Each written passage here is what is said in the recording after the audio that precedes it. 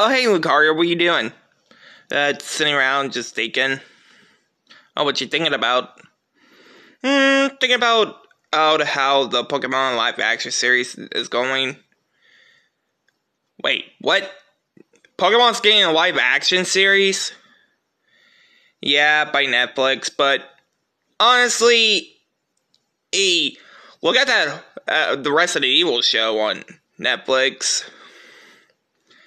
I thought that show was pretty good. Dude, the thing has horrible reviews. Like, look it up online. It, it really does.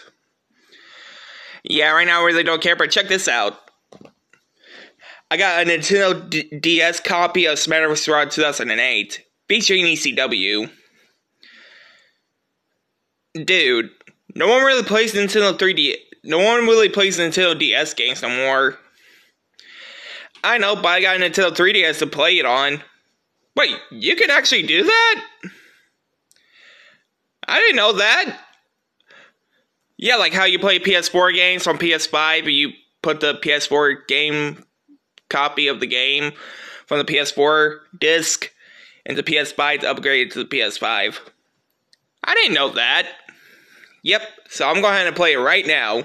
Also, it's a touch screen, by the way, not like moving around because it's a touch screen. So, yeah.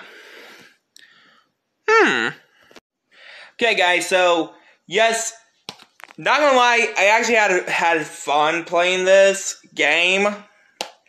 Uh, yeah, it could be a little bit difficult to play, just a bit. So I bought this from eBay, and I told you guys my thoughts. Did a review of it on my Facebook. Show you the finishes on Instagram. So yeah, hope you guys like, comment, subscribe.